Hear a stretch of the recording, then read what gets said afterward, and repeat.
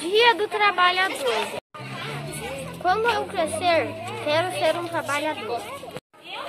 Ter uma profissão que goste. Ser futebolista ou doutor. Quero ser astronauta, matemático, professor. Ou trabalhar no campo e ser um agricultor. Quero ser um veterinário para os animais me cuidar. Ou ser um belas refeições preparar. Quero ser um soldado e o meu país defender. Ou ser um atleta e maratonas vencer. Quero ser presidente de uma grande campanha ou um inspirado músico e compor uma sinfonia.